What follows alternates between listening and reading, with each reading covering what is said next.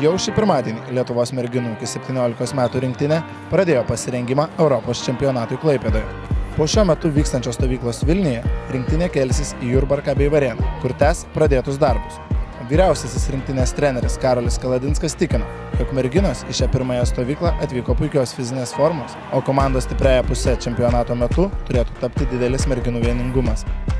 E, įspūdžiai yra geri, kadangi džiugina tai, kad merginos atvyko pasiruoštus.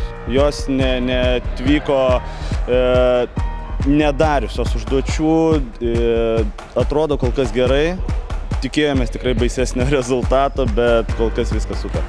Vėliau bus keliamas į Jurbarką bei Varėną, tenais jau bus šlifuojamas pats žaidimas?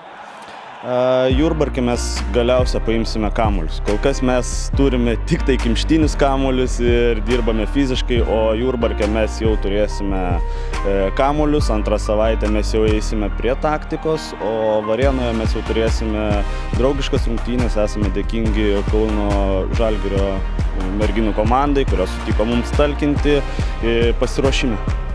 Kalbant apie jau patį artėjantį čempionatą, kokie vis dėlto tikslai komandai keliami ten? Mm, tikslus mes turime aukštus. E, iš tikrųjų tikimės e, būti, būti prizininkais. Treniruotės nelengvos, bet visos tikrai stengiasi, yra konkurencija, visos nori papulti tą šešioliktuką. Nuotaikos geros, viskas gerai, stengiamės, dirbam ir ruošiamės. Ar ta konkurencija negadina atmosferos komandoje? Ne, negadina visus tikrai draugiškai ir jeigu konkuruojam, tai ir tai pačiai pozicijų žaidėjai nori ir patart, kad būtų ir geriau, nors ir atrodo, kad tu turėtum būti pirma, bet nori, kad ir kitai sektųsi ir tikrai nesijaučia labai didelės konkurencijos. Ar jau galvojate apie Klaipėdą, galbūt jau išsikėlėte savo pačios asmeniškai kokius tikslus? Pas mus komandoje visada yra keliami aukščiausi tikslai, tai ir čempionate yra aukščiausi tikslai keliami ir norim būti čempionais.